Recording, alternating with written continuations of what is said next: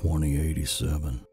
Humanity is still picking itself out of the dirt from when we tripped over our own feet.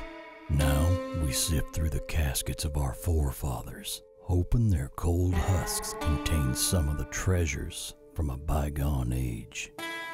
It's a dangerous time full of glory and riches. But you always have to watch your back.